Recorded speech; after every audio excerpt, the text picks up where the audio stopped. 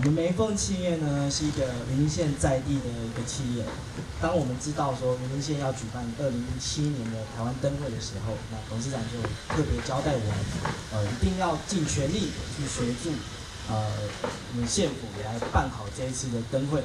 啊，所以呢，我们就有提供了这个呃，我们大型的旗舰帐的翼板帐篷，这个呃帐篷来当做县府的指挥中心来使用。那务必呢，要提供县府的人员在灯会的期间呢，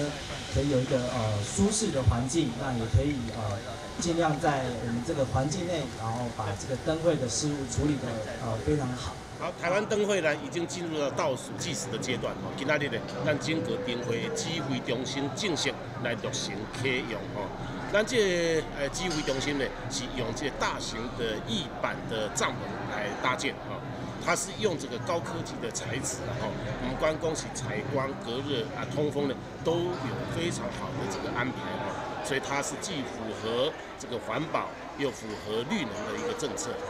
同时呢，它可以抵抗到十三级风以上，所以它的坚固，哈，啊，绝对是没有问题的，哈，它内部的这个功能也相当齐全，啊，除了咱管政府的指挥中心之外，也有交通局啊、交通部、交通局。观光局诶，这个机会中心嘛设置家，我们有贵宾的接待室，有媒体中心哈，还有这个简报室等等哈，功能十分的齐全哈，面积达到两千两百五十平方公尺。